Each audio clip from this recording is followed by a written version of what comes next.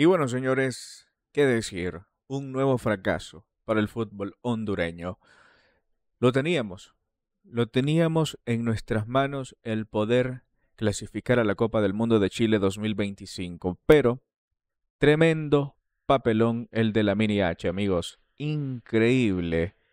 Es impresionante, amigos, todas las oportunidades que tuvimos para obtener esa clasificación a la Copa del Mundo de Chile 2025. Lamentable, honor para la selección de Cuba que se fajó y aguantó hasta el final. Con toda limitancia, con todo desgaste físico, con todo y jugador menos, aguantó hasta los penales y demostró mayor temple, demostró carácter, algo que le hizo falta a Honduras en este cierre, en este partido, para cerrarlo y sellar esa clasificación. Increíble amigos, el partido más importante es donde Honduras jugó relajado. En el partido más importante Honduras terminó fallando. En el momento más crucial no se pudo dar la clasificación a nuestra décima Copa del Mundo, sub-20. Papelón y fracaso rotundo para nuestra selección. Así es amigos, es la realidad. Este es un fracaso gigantesco para las menores de la selección. Partido que se fue hasta los penales y desafortunadamente fallamos.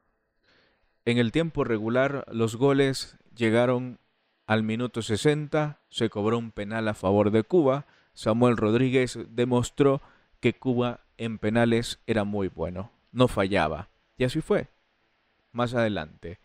Honduras recuperaba la esperanza porque en este premundial la selección usualmente siempre arrancaba abajo del marcador. Usualmente siempre tenía que venir desde abajo, pero lo hacía bien, tenía buena reacción. Eso era lo que me sorprendía de esta selección hondureña, que lograba responder pese a la adversidad de ir abajo. Logra, logra igualar el partido importantísimo lograr igualar este compromiso. Afronit Tayton, nuevamente la combinación Afronit con el jugador Roberto Sorto, los dos jugadores diferenciales de esta mini H, los jugadores más importantes de esta selección, los que demostraron un rendimiento de acorde al torneo, los que demostraron una diferencia con los demás jugadores. Llega el empate, amigos, y Honduras empezó a titubear, empezó a dudar. En lugar de cerrar el partido, buscar esa victoria, relajados. Botaban la pelota, no pasa nada. Llegaban, pero no concretaban. Comenzaron a tener muchas dudas al momento de tomar la última decisión. En el tiempo extra, amigos, nos vamos al tiempo extra. Aquí sucede algo importante. Al minuto 98 del tiempo extra, al minuto 98 de juego, expulsan a Michael Vega por una dura entrada, totalmente justificada esa expulsión. Lo terminan expulsando. Pero ¿qué sucede después, amigos? Honduras. Es increíble la reacción de Honduras. Expulsan a un jugador con tiempo suficiente para buscar rematar el partido. ¿Y qué es lo que hace el técnico y los jugadores? Aguantar el resultado. Se cansaron de fallar. Ángel Villatoro, Nixon Cruz tuvieron las dos jugadas más claras en el cierre del compromiso de los tiempos extra. No las concretaron. Honduras muy pasivo, amigos, muy pasivo. La selección de Cuba en ese minuto ya estaba sin oxígeno. La selección de Cuba ya solo estaba esperando que pitaran el final y que vámonos a los penales. Porque ellos tenían un jugador menos. Honduras no tenía que apostar a los penales. Honduras tenía que rematar ese partido en, los, en lo que restaba. Tenía un jugador de más. ¿Por qué no adelantar líneas? ¿Por qué no buscar rematar el partido? Pero no, muy poca gente en ataque, muy pocas ocasiones y las que tuvieron las mandaron afuera. En los penales es una ruleta rusa, sin duda alguna. Es una ruleta rusa, no se sabe quién, eh, quién lo va a ganar, quién va a fallar, a quién el guardameta le va a atajar, pero desafortunadamente amigos, la fortuna no estuvo con nosotros. Nixon Cruz, el tercer penal para la selección de Honduras, lo pegó en el poste y este pegó en el guardameta y salió. No quiso entrar esa pelota. No quiso entrar. Y no es que hizo un mal penal, pero pegó en el poste y se salió. Lamentable amigos, porque Cuba anotó sus cinco penales, los anotó los cinco. No falló ni un tan solo penal la selección de Cuba y demostró, o bueno, hizo lo, lo necesario para sacar este pase a su segundo mundial en la historia. Una selección de Cuba, amigos. Cuba no tiene apoyo suficiente para sus inferiores. Cuba no tiene el apoyo necesario para el fútbol, para desarrollar el fútbol de ellos. Cuba no tiene estructura. Honduras sí. Y una selección con carácter, con determinación y con frialdad nos deja fuera.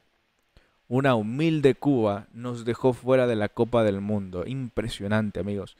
Honduras viene a fallar en los momentos más cruciales. Es, esto es impresionante, da hasta... Es que ya ni, ya ni molesta el hecho de que sumemos un nuevo fracaso. Ya ni siquiera molesta porque uno lo tiene ya eh, pensado que puede suceder. Uno ya piensa en este panorama por todas las situaciones que ha venido pasando Honduras venimos de un buen mundial, un buen premundial, la edición anterior, lo hicimos muy bien, clasificamos a esa Copa del Mundo. Esta fase de grupos que hizo esta selección de Honduras fue muy buena, muy destacada. Lograron eh, terminar entre los mejores, entre las selecciones más goleadoras, con resultados adversos, lograron darle la vuelta. Todo pintaba bien. Pero lamentablemente, amigos, a veces yo siento que todo es cuestión mental de nuestras elecciones, que en los momentos más importantes no les da. En los momentos más cruciales no les da, simplemente no les da, flaquean, son muy fríos, tienen que ser más fríos, pero es, es que es increíble, amigos, se siente una impotencia increíble el sumar un nuevo fracaso, el quedarnos fuera y es que es, impresionante, amigos. Es impresionante. Tenés un tiempo de más para resolver este partido. Le expulsan un jugador a tu rival, el cual ya está exhausto, el cual ya no puede más, ya no puede correr, ya no puede llegar a hacerte daño. ¿Qué es lo lógico que haces cuando tu, tu rival está ya con 10, ya no puede más? Te vas encima de él, lo arrinconás, lo obligás a que se rinda y anotás los goles buscas la manera, la forma, como sea, de anotar. Pero no, muy tranquilos, muy pasivos, esperando los penales, sabiendo que es una instancia en donde Honduras no le va bien.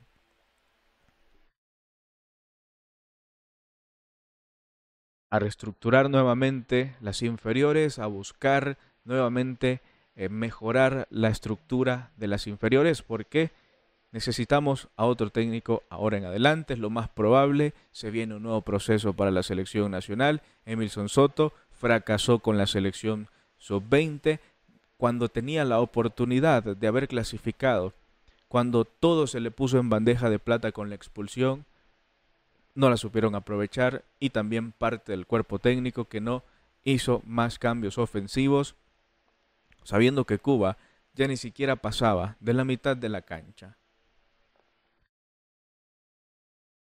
Otro fracaso más, amigos. Podemos eh, sacar una lista gigantesca, gigantesca de cuántos fracasos ha tenido Honduras en los últimos tiempos.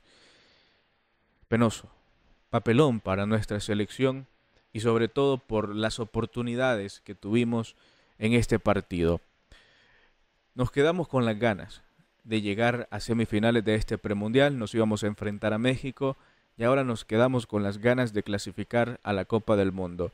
Yo no es que creería que esta selección iba a poder hacer un papel destacado, porque al menos con esta selección no nos iba a ajustar para jugar, para hacer un papel brillante en lo que es la Copa del Mundo.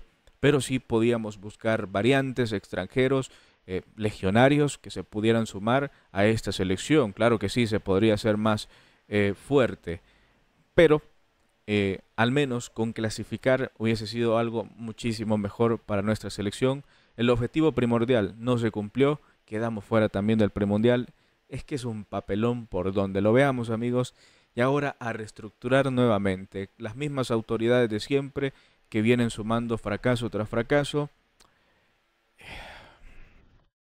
Estamos en serios problemas. Como los últimos años, a nivel mayor, en inferiores, en todos aspectos el fútbol hondureño necesita una reestructuración y gente adecuada que sí eh, proyecte avances, no fracasos, porque si siguen los mismos, estos resultados seguirán siendo cotidianos para nuestras selecciones.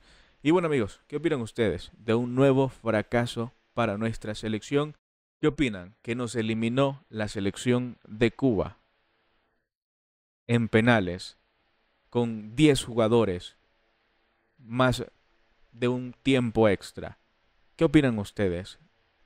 ¿Qué opinan ustedes de este tremendo papelón de la selección de Honduras de quedar fuera cuando tenía todo para avanzar?